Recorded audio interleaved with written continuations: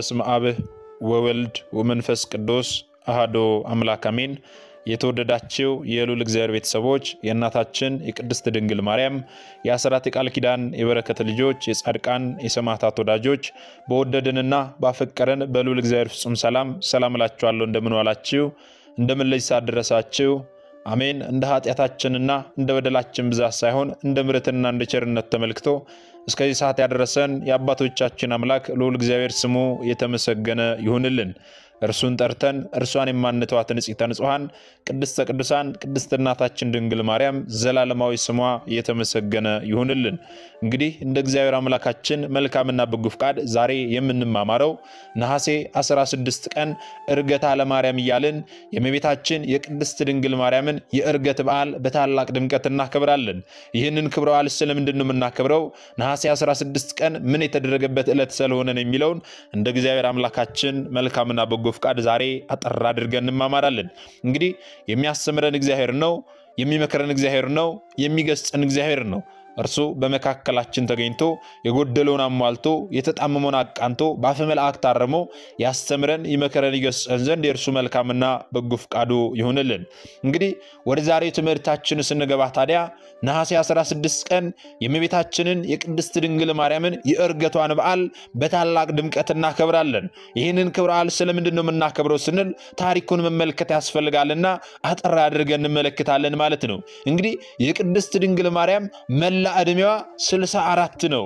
ይህም ታዲያ 64 ዓመት የሆነው እንዴት ነው ካልን ደግሞ በእናት በአባቷ ቤት ሶስት ዓመት በቤተ መቅደስ ደግሞ 12 ዓመት ጌታን ጽንሳ በቤተ ዮሴፍ ደግሞ ዘጠኝ ወር ከአምስት ቀን ከልጇ ጋር ደግሞ 33 ዓመት ከሶስት ወር ከልጇ ጋር 33 ዓመት ከሶስት ወር ከቆየች በኋላ ደግሞ ዓለምን ለማዳን በዕለተ ዓርብ በመስቀል ላይ በተሰቀለ ጊዜ የሚወዳትን እናቱን ለሚወደው ደቀ መዝሙሩ ለዮሐንስ እነኋት እናት በማለት አደራ በመስጠት በዮሐንስ በኩል ለእኛ ለሚወደን ለሁላችን የአደራ ልጆቿ እንድንሆንና የአደራ እናታችን እንድትሆነን ታላቅ ስጦታን በቀራንዮ በመስቀሉ ስር ለእኛ ሰጠን ማለት ነው። በዮሐንስ ወንጌል እንደምናገኘው ታዲያ በዚህ መሰረት ሐዋርያትም ከአምላካቸው የተሰጠቻቸውን የአምላካቸውን እናት ይዘው ሲጸልዩ መንፈስ ቅዱስ ወርዶ ሰባ ሁለት ቋንቋ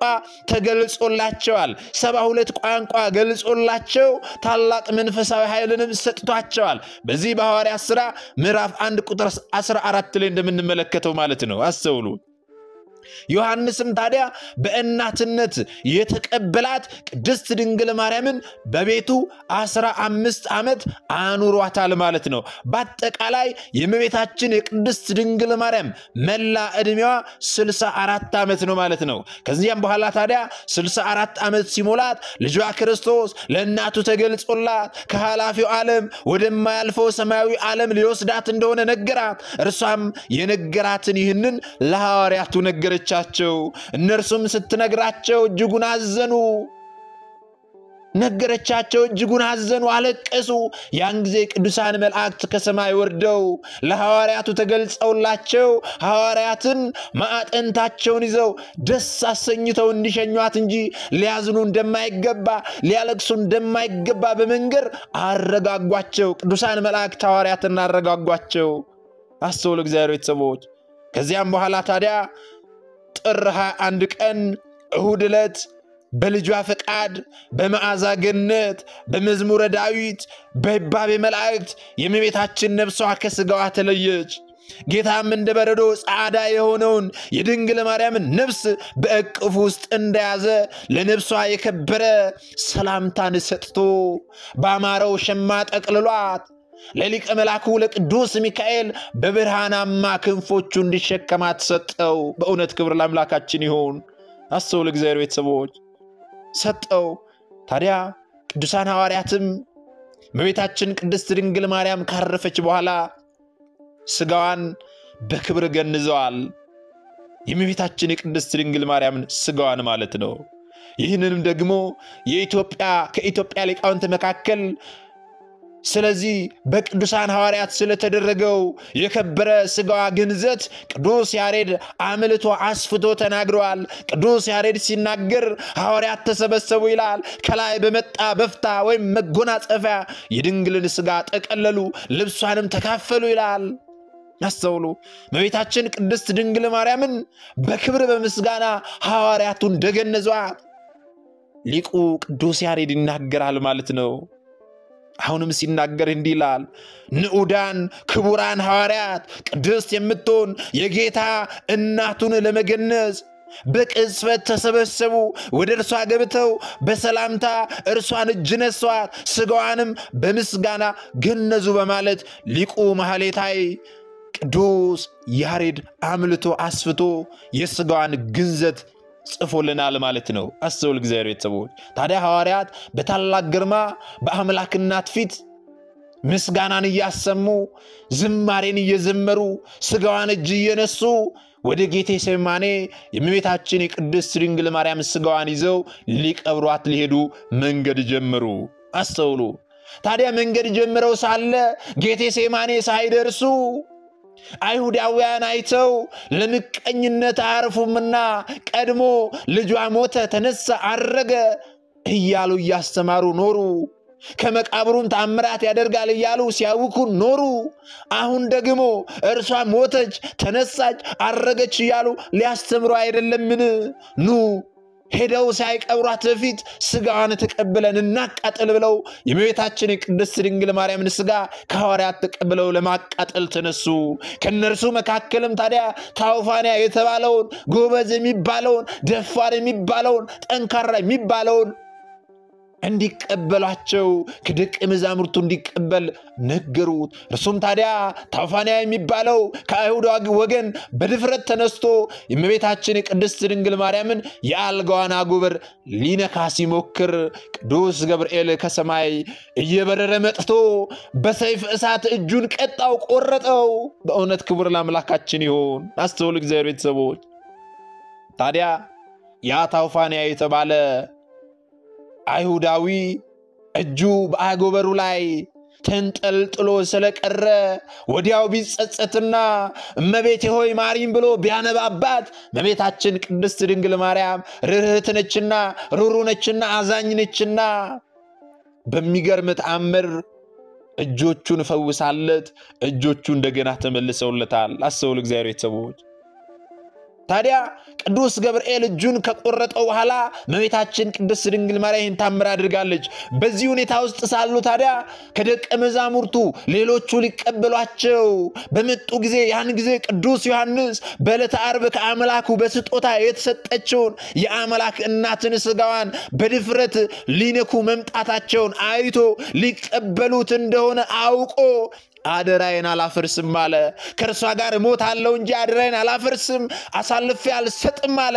ይህንን በማለት ተናግሮ በላዩ ላይ በሥጋዋ ላይ ወደቀ፣ ተደፍቶ ወደቀ፣ በላዩ ላይ ወደቀ። ከዚያም በኋላ ታዲያ ቅዱስ ሚካኤልና ቅዱስ ገብርኤል በታላቅ ግርማ ወርደው የቅድስት ድንግል ማርያምን ሥጋዋንና ቅዱስ ዮሐንስን በደመና ነጥቀው በገነት በዕፀ ሕይወት ዛፍ ስራ ኖሯት። አስተውል እግዚአብሔር ቤተሰቦች፣ በገነት በሕይወት ዛፍ ስራ ኖሯት ቅዱስ ዮሐንስንና የእመቤታችን የቅድስት ድንግል ማርያምን ሥጋዋን ማለት ነው። ወዲያውኑ ታዲያ የወርቅ ማዕጠንት ለቅዱስ ዮሐንስ አምጥተውለት የቅድስት ድንግል የከበረ ሥጋዋን በመዓልትና በሌሊት ዕጠን አሉት። ዮሐንስም ይህንን ክብር በመቀበሉ ምክንያት ደስ ብሎት ሥጋዋን እያጠነ እንደዚሁም ደግሞ ሰርክ ሲሆን ራጉኤል መልአክ ሰማያዊ ህብስት፣ ሰማያዊ መጠጥ እያመጣለት ያንን እየተመገበ በገነት ቆይቷል። በኋላም ታዲያ በገነት ይህን ሁሉ ስርዓት ከተከናወነ ካከናወነ በኋላ በጌታ ፍቃድ ወደ ሐዋርያት መቀላቀል ነበረበትና በጌታ ፍቃድ ከተቀሩት ሐዋርያት ጋር ለመገናኘት ከሰማይ ወረደ። ከተቀሩት ሐዋርያት ጋርም ተገናኘ። ከተገናኘ በኋላ ሐዋርያት ጥያቄን ጠየቁት። የእመቤታችንን ነገር እንደምን ሆነ ሲሉ ጠየቁት። እርሱም ታዲያ በገነት ያየውን በገነት የተደረገውን ሁሉ ለሐዋርያቱ ነገራቸው። እነርሱም ይህንን ታላቅ ምስጢር ዮሐንስ አይቶ እኛ እንዴት ሳናይ ብለው ይህንን ያሳያቸው ዘንድ ነሐሴ አንድ ቀን ሱባኤ ጀመሩ። አስተውሉ እግዚአብሔር ቤተሰቦች አንድ ሱባኤ ሰባት ቀን ነው። ሁለት ሱባኤ ስንል ደግሞ አስራ አራት ቀን ይሆናል። ታዲያ ሱባኤ በጀመሩ በአስራ አራተኛው ቀን በሁለተኛው ሱባኤ ጌታ የእናቱን ሥጋ አምጥቶ ትኩስ በድን አድርጎ ሰጣቸው። እነርሱም ደግሞ ደስ ብሏቸው ከጌታ ተቀብለው በምስጋና በዝማሬ አድርገው በደስታ ሆነው ዕለቱኑ በጌቴ ሴማኔ የእመቤታችን የቅድስት ድንግል ማርያምን ሥጋዋን ቀብረዋል ማለት ነው። ይህ የሆነው መቼ ነው ስንል ታዲያ እመቤታችን ቅድስት ድንግል ማርያም ያረፈችው ቅድም እንዳልነው ጥር 21 ቀን ነው። ከጥር 21 ቀን እስከ ነሐሴ 14 ቀን በሁለተኛው ሱባኤ በነሐሴ 14 ሥጋዋን እስኪሰጣቸው ድረስ እመቤታችን ቅድስት ድንግል ማርያም ሥጋዋ ያለው የት ነበረ ስንል በገነት በዕፀ ሕይወት ስር ነበረ። አንዳንድ ሰዎች እመቤታችን የሞተችው ጥር የተቀበረችው ነሐሴ ሞት በጥር ነሐሴ መቃብር እንዴት ይሆናል ብለው የሚጠይቁ ሰዎች ስላሉ ማለት ነው። እመቤታችን ቅድስት ድንግል ማርያም ጥር 21 ቀን አርፋለች። የተቀበረችው ደግሞ ነሐሴ 14 ነው። ዕለቱኑ ተቀበሉ። ዕለቱኑ በምስጋና በዝማሬ አድርገው በጌቴሴማኔ ቀብረዋታል ማለት ነው። አስተውሉ እግዚአብሔር ቤተሰቦች ይህንን ከተመለከትን ዘንዳ ታዲያ እመቤታችን ቅድስት ድንግል ማርያም ስትቀበር ወይም ደግሞ በጌቴሴማኔ ሲቀብሯት ሐዋርያው ቅዱስ ቶማስ ከእነርሱ መካከል አልነበረም። እርሱ ለስብከተ ወንጌል ለማስተማር በሀገረ ስብከቱ ነበረ። ይህ ሲከናወን በቦታው አልነበረም። ታዲያ እመቤታችን ቅድስት ድንግል ማርያም በተወደደች ዕለት ነሐሴ 16 ቀን በዛሬዋ ዕለት ልጇ ኢየሱስ ክርስቶስ ሰባቱ ሊቃነ መላእክትን ምድርን ይጠሯት ዘንድ አዘዛቸው። አስተውሉ፣ ምድርን ይጠሯት ዘንድ አዘዛቸው። እነርሱም ምድርን እንዲህ አሏት፣ ጌታችን የንጽሕት እናቱን ሥጋ ታወጭ ዘንድ ያዝሻል አሏት። ያን ጊዜ ልጇ ወዳጇ ጌታችን መድኃኒታችን ኢየሱስ ክርስቶስ ወደ መንግሥተ ሰማያት አሳርግሽ ዘንድ እናቴ ወደ እኔ ና ያላት። ያን ጊዜ በልጇ ሥልጣን የቅድስት ድንግል ማርያም ነፍሷና ሥጋዋ ተዋሃዱ። ነሐሴ 16 ዕለትም እመቤታችን ቅድስት ድንግል ማርያም ከሞት ተነሳች። አስተውል እግዚአብሔር ቤተሰቦች፣ ክብር ለአምላካችን ይሁን በእውነት እመቤታችን ቅድስት ድንግል ማርያም ነፍሷና ሥጋዋ ተዋህደው ነሐሴ 16 ቀን በዛሬዋ ዕለት ከሞት ተነሳች። ያን ጊዜ ታዲያ ያን ጊዜ ቅዱሳን መላእክት ከሰማይ በታላቅ ግርማ ወረዱ። ነቢዩ ዳዊትም ወትቀውም ንግሥት በየማንከ እያለ ንግሥቲቱ ወርቀ ዘቦ ግምጃ ደርባ ደራርባ በቀኝ ትቆማለች እያለ ይዘምርላት ነበረ። አየሩ ሁሉ በቅዱሳን መላእክት ተመላ። እጅግ የሚያስደንቅ መዓዛ አካባቢውን አወደው። ስለ አካላዊ ቃል ስለ እመቤታችን ስለ ቅድስት ድንግል ማርያም እርገት ብዙ ሊቃውንት አባቶቻችን በአስደናቂ ሁኔታ ተናገሩ። አስተውሉ። ቅዱስ ያሬድም ታዲያ ስለ እመቤታችን ስለ ቅድስት ድንግል ማርያም እርገት በዝማሬው ላይ ሲናገር እንዲህ አለ። እመቤታችን በምስጋና ወደዚያኛው ዓለም በተለየች ጊዜ ለአቀባበሏ መላእክትና ሊቃነ መላእክት ወረዱ አለ። አስተውሉ እግዚአብሔር ቤተሰቦች ያን ጊዜ በታላቅ ክብር በመላእክት ታጅባ እመቤታችን ቅድስት ድንግል ማርያም ወደ ሰማይ ስታርግ ሐዋርያው ቅዱስ ቶማስ ከሀገረ ስብከቱ በደመና ተጭኖ ሲመጣ ሀገረ ስብከቱ ህንድ ነበርና ህንድ አስተምሮ ወደ ኢየሩሳሌም ሲመለስ በደመና ተጭኖ ሲመጣ ሰማዩ ሁሉ በቅዱሳን መላእክት ተመልቷል። የአምላክ እናት በክብር ስታርግ ተመለከተ። ያን ጊዜ ነገሩ ረቆበት ረቂቅ ሆኖበት ይህ የሚሆነው ምን ይሆን ሲል ቅዱሳን መላእክትን ጠየቃቸው። ቅዱሳን መላእክት የእመቤታችን እርገት እንደሆነና እጅ እንዲነሳ ነገሩት። እርሱም ታዲያ ከቶ ምን አድርጌ ይሆን አለ። ቀድሞ የልጇን ትንሣኤ ሳላይ ቀረው፣ ዛሬ ደግሞ የእርሷን ትንሣኤ ሳላይ ልቀር ነውን ብሎ ከደመና ላይ ሊወድቅ ቃጣው። ራሱን ሊፈጠፍጥ ወደ ምድር ሊወድቅ ቃጣው። እመቤታችንም በዚህ ጊዜ አይዞህ አለችው፣ አትዘን አለችው። እነሱ ሞቴን አይተዋል እንጂ እርገቴን አላዩም። አሁንም አለች እመቤታችን ተነሳች አረገች ብለ ንገራቸው ብላ ለምልክት የሆነው ዘንድ ለምስክርነትም የሆነው ዘንድ ለበረከት የሚሆነው ዘንድ ለበረከት ይከፋፈሉት የሆናቸው ዘንድ ሰበኗን ለሐዋርያው ለቅዱስ ቶማስ ሰጠችው። አስተውሉ። እርሱም ታዲያ በደስታ ተመልቶ ሐዋርያት ያሉበት ቦታ ድረስ በመሄድ የእመቤታችን ነገር ምን ላይ ደረሰ ብሎ ሐዋርያቱን ጠየቃቸው። እነርሱም ታዲያ ሐዋርያት እመቤታችንን እኮ ሞተች ቀበርናት አሉት። መቼ ሞተች አላቸው። በጥር አሉት። መቼ ቀበራችኋት አላቸው። በነሐሴ አሉት። ከዚህ በኋላ ሐዋርያው ቅዱስ ቶማስ ሞት በጥር ነሐሴ ደግሞ መቃብር ተው፣ ይህ እንዴት ሊሆን ይችላል? ይህማ አይሆንም አለ። ይህማ አይሆንም እንዴት ሊሆን ይችላል? እያለ ይሞግታቸው ዘንድ ጀመረ።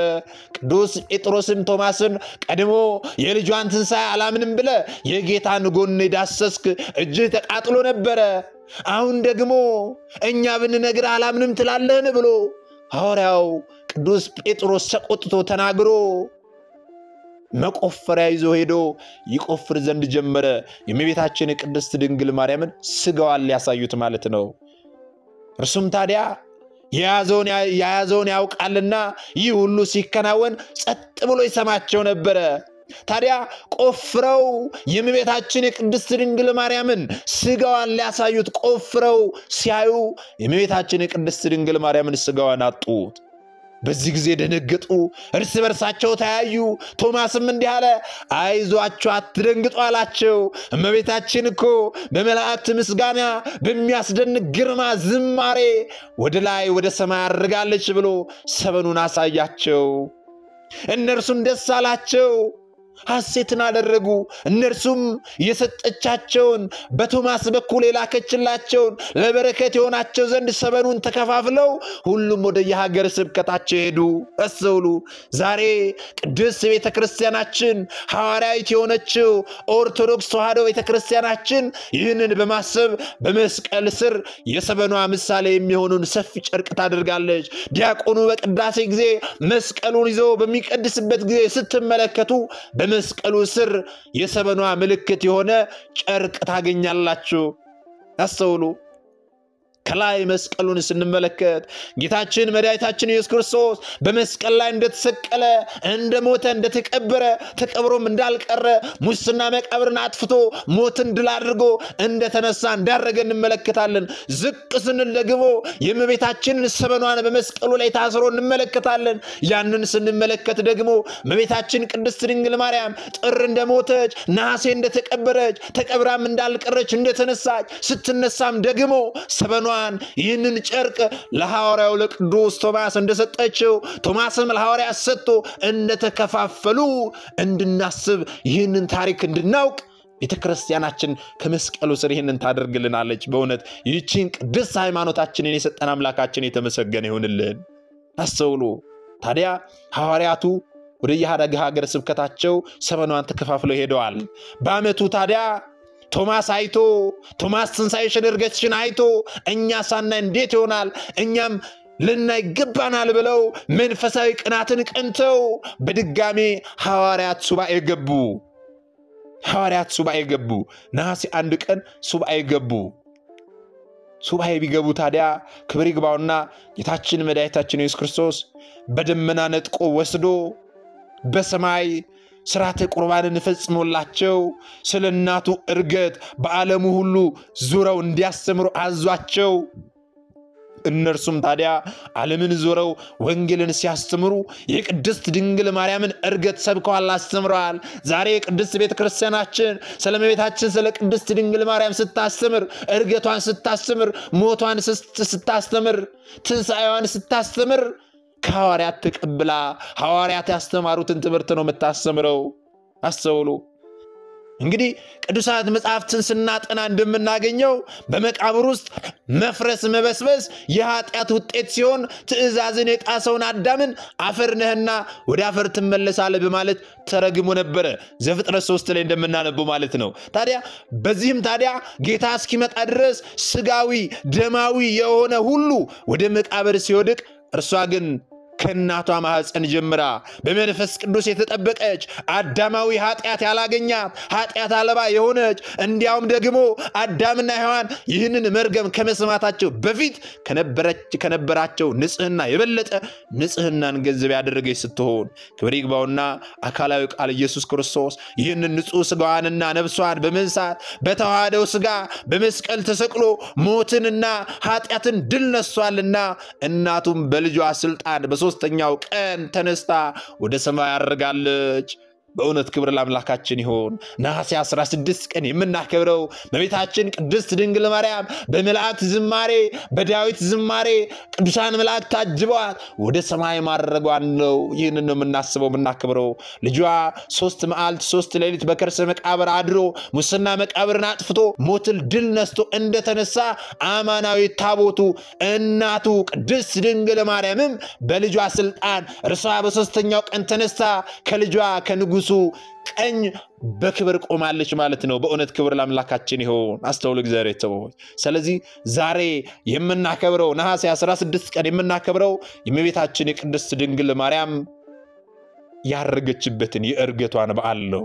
ይህንንም ታዲያ በብዙ ቦታዎች ላይ ተጠቅሰው ተጽፎ እናገኛለን። መጽሐፍ ስንክሳራችን የሚያስተምረው ደግሞ ሐዋርያት ዓመት ሙሉ ከቆዩ በኋላ የነሐሴ ወር በባተ ለሐዋርያት ዮሐንስ እንዲህ አላቸው ይላል።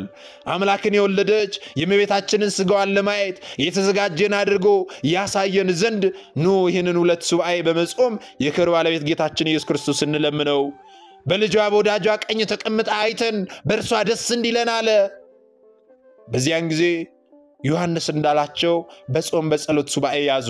የነሐሴ ወር እንደ ዛሬ ያስተውሉ። በአስራ ስድስተኛው ቀን የክብር ባለቤት ጌታችን መድኃኒታችን ኢየሱስ ክርስቶስ ሁሉንም ሐዋርያት ወደ ሰማይ አወጣቸው ይላል መጽሐፍ ስንክሳራችን። ሁሉንም ሐዋርያት ወደ ሰማይ አወጣቸው። በታላቅ ክብር በተወደደ ልጇ ቀኝ ተቀምጣ ከሥጋዋ ተዋህዳ ተነስታ እመቤታችን ቅድስት ድንግል ማርያምን አዩአት። እመቤታችን ቅድስት ድንግል ማርያምም እጆቿን ዘርግታ የከበሩ ሐዋርያትን እያንዳንዳቸውን ባረከቻቸው፣ በልባቸውም እጅጉን ደስ አላቸው። የክብር ባለቤት ጌታችን ኢየሱስ ክርስቶስም በከበረ ሥጋውና ደሙ ላይ ሰራዊ ካህን ሆነ። ቅዱስ እስጢፋኖስም ነበረ። ዮሐንስም በመፍራት ቁሙ አላቸው። ሁሉም ሐዋርያት በመሠዊያው ዙሪያ ቆሙ። በዚያን ጊዜ ከቶ እንደርሱ ሆኖ የማያውቅ በሰማያት ታላቅ ደስታ ሆነ። አስተውሉ። ታላቅ ደስታ ሆነ። ጌታችንም የቅዳሴውን ስርዓት በፈጸመ ጊዜ ስጋውንና ደሙን አቀበላቸው። ከዚያም በክሩቤልና በሱራፌል ሰረገላ ተቀምጣ በምታርግ ጊዜ የክብር ባለቤት ጌታችን መድኃኒታችን ኢየሱስ ክርስቶስ እናቱ እመቤታችን ቅድስት ድንግል ማርያምን እንዲህ ብሎ ተናገራት። በዚች ቀን የሆነውን የእርገትሽን መታሰቢያ በዓለም ውስጥ እንዲሰብኩ ልጆችሽ ሐዋርያትን እዘዣቸው አለ። መታሰቢያሽን የሚያደርገውን ሁሉ ተጠብቆም በዚች ቀን ቅዱስ ቁርባን የሚቀበለውን ኃጢአቱን እደመስስለታለሁ። የእሳትን ስቃይ ከቶ አያትም።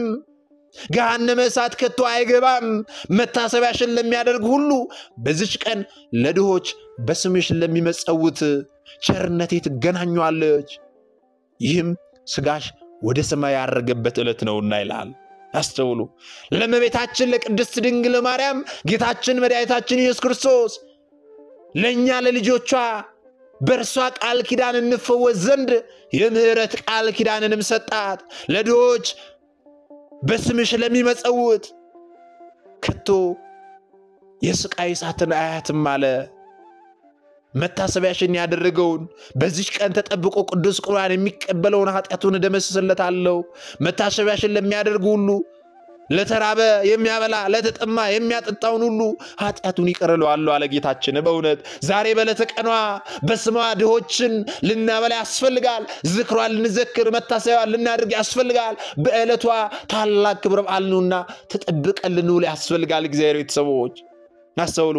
እመቤታችን ቅድስት ድንግል ማርያምም ክብር ይግባውና ጌታችን መድኃኒታችን ኢየሱስ ክርስቶስን እንዲህ አለችው፣ ልጄ ሆይ እነሆ በዓይናቸው አዩ፣ በጆሮቻቸውም ሰሙ፣ በእጆቻቸውም ያዙ፣ ሌሎችም ታላላቅ ድንቆች ስራዎችን አዩ አለች። እመቤታችን ይህንን ስትናገር ጌታችንም ሰላምታ ሰጥቷት በታላቅ ደስታ ቅዱሳን ሐዋርያት ወደ ደብረ ዘይት ተመለሱ። አስተውሉ። ወንድሞች ሆይ በፍጹም ደስታ መታሰቢያ ልናደርግ ይገባናል።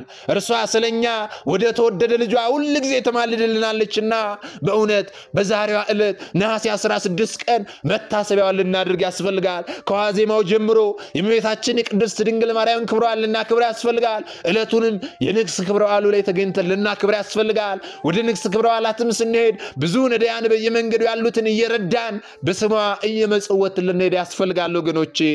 ይህንን ካደረግን በቃል ኪዳኗ እንታቀፋለን።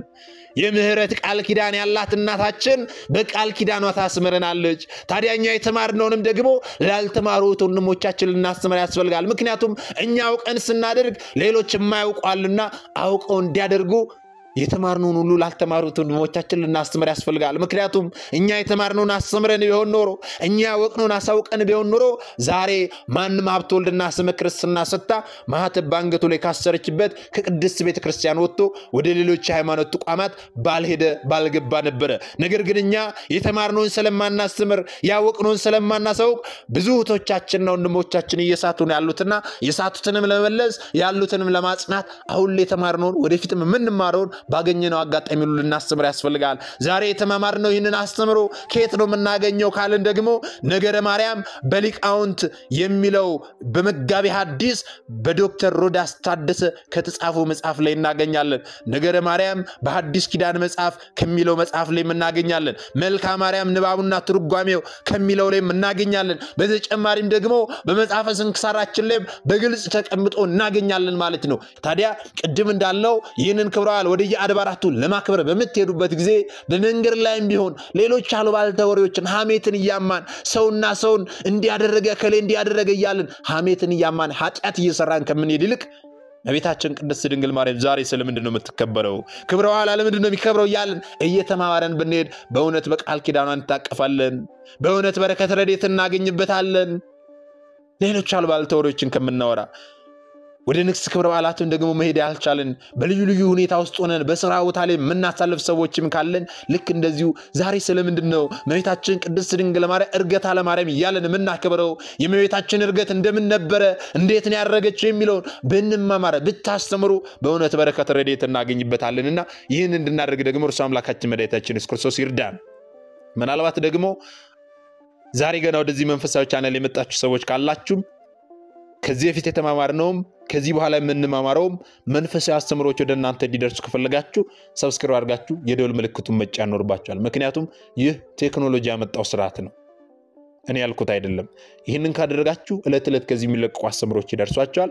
ይህንን ካላደረጋችሁ ደግሞ ዛሬ እንደ አጋጣሚ እናስተምሮ ሰምታችሁ ሊሆን ይችላል። በቀጣይ ከዚህ የሚለቀቁ አስተምሮች ወደ እናንተ አይደርሱም ማለት ነው። ስለዚህ ወደ እናንተ እንዲደርሱ ከፈለጋችሁ subscribe አድርጋችሁ የደወል ምልክቱን መጫን ይኖርባችኋል ማለት ነው። አስቡ ለእግዚአብሔር ቤተሰቦች እግዚአብሔር አምላካችን እስካሁኑ ሰዓት ጠብቆ ያስተማረን የመከረን የገሰጸን የአባቶቻችን አምላክ ልዑል እግዚአብሔር ስሙ የተመሰገነ ይሁንልን። እርሱን ጠርተን እርሷን የማንተዋት ንጽሕተ ንጹሐን ቅድስተ ቅዱሳን ቅድስት እናታችን ድንግል ማርያም ዘላለማዊ ስሟ የተመሰገነ ይሁንልን። የሰማነውን በእዝነ ልቦናችን ያሳድረብን። ሰሚዎች ብቻ ሳንሆን ደግሞ በሰማነው ቃል 30 60 መቶ የአማረ ፍሬ አፍርተን ዛሬ ስሙ ቀዳሾች ነገ ደግሞ የመንግስቱ ወራሾች ያደርገን ዘንድ የእርሱ መልካምና በጎ ፈቃዱ ይሁንልን። ወስብሐት ለእግዚአብሔር ወለወላዲቱ ድንግል ለመስቀሉ ክቡር። ይቆየን።